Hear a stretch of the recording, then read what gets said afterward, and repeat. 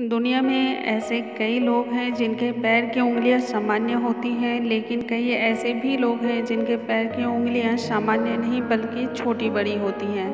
और उनके बारे में ऐसी कई बातें हैं जिन्हें जान लेना चाहिए। ऐसे में आज हम आप सभी को बताने जा रहे हैं जिन लोगों के पैर की दूसरी उंगली जो है वो बड़ी होती है, यानी ठीक अंगूठे के बगल वाली। उनका स्वभाव कैसा होता है और उनके साथ क्या क्या होता है? जी हाँ आप सभी को बता दें कि हमारा शास्त्र के अनुसार भी व्यक्ति के सिर से लेकर पैर तक अनेक तरह के लक्षण पाए जाते हैं। इसी के साथ शास्त्र में इस बात का भी विशेष रूप से ज़िक्र है, जिस व्यक्ति के पैर के अंगूठे के ठीक बगल वाली उंगली यदि बड़ी है तो वो व्यक्ति का जो स्वभाव है, विचार है, वो किस तरह का होगा या उसका भविष्य कैसा होगा। हेलो दोस्तों, आप सभी का द डिवाइन सोल पे बहुत बहुत स्वागत है। यदि आप चैनल पे पहली बार आए हों तो चैनल को लाइक शेयर और सब्सक्राइब करना बिल्कुल ना भूलें।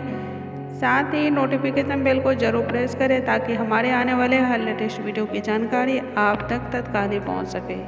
दोस्तों, अगर किसी व्यक्ति के पैर के अंगूठे के बाजू वाली दूसरी उंगली बड़ी होती है तो वो व्यक्ति बहुत ही किस्मत वाला होता है और दूसरे लोगों से बिल्कुल ही अलग ही माना जाता है।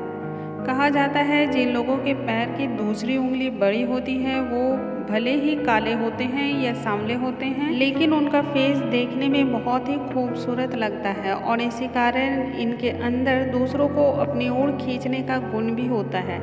लोग ना चाहते हुए भी इनकी ओर अपने आप खींचे चले आते हैं। दरअसल आपने बहुत सारे ऐसे लोगों को देखा होगा जो देखने में बहुत गोरे होते हैं बेदाग चेहरा होता है, लेकिन इसके बावजूद भी आप उनकी तरफ़ अपने आप को खिंचाव सा महसूस नहीं करते हैं। तो आपको ऐसे लोगों की पैरों की ओर ज़रूर देखना चाहिए। उनकी उंगलियाँ ज़रूर अंगूठे से छोटी होती होंगी।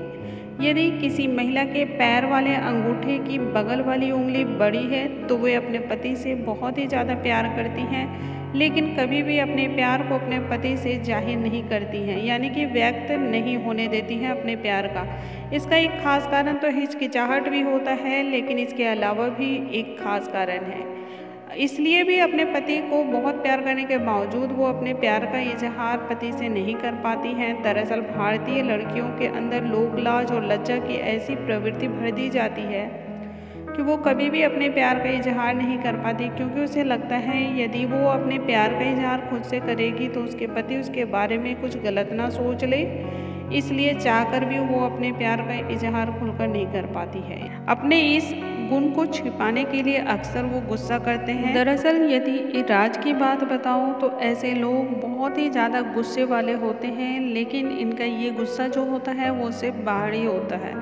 असल में ऐसे लोग अंदर से बहुत ही शांत स्वभाव वाले और अच्छे दिल वाले होते हैं। जब तक कि इन्हें बहुत ही ज़्यादा परेशान ना किया जाए, ये गुस्सा नहीं करते हैं। हालाँकि वो अपने अंदर के इस भाव को किसी से ज़ाहिर करना नहीं चाहते हैं। इसलिए वो दूसरे के ऊपर गुस्सा भी करते हैं, क्योंकि ऐसे लोग नहीं चाहते हैं कि उनके अंदर छिपे इस गुण का कोई दूसरा और फ़ायदा उठा ले। जीवन में थोड़ी बहुत परेशानियाँ भी होती हैं, लेकिन कुछ समय बाद ऐसे लोग अपने जीवन में कामयाबी की सीढ़ी लगातार चलते जाते हैं, क्योंकि शुरुआत में ऐसे लोगों के जीवन में परेशानियाँ आती हैं, लेकिन मेहनत से इनको अपने जीवन में सफलता ज़रूर मिलती है। दरअसल, हर किसी को बिना मेहनत के सफलता नहीं मिलती है। इसलिए जीवन में ऊंचाइयों को पाने के लिए कड़ी मेहनत करनी पड़ती है, क्योंकि सफलता पाने का कोई शॉर्टकट नहीं होता है। इसलिए उसके लिए रातों की नींद भी उड़ानी होती है। लेकिन जिन लोगों के पैर के अंगूठे के बगल वाली उंगलियाँ बड़ी होती हैं, उनके लिए ये हंड्रेड परसेंट सही बात होती है। उनकी लाइफ में कोई भी चीज़ लक बोल करके नहीं होता है। ऐसे लोग अपनी कामयाबी के लिए दिन रात एक कर देते हैं। ऐसे लोग बहुत ही ज़्यादा ऊर्जावान होते हैं और अगर किसी काम को हाथ में ले ले तो उसे पूरा करके ही दम लेते हैं।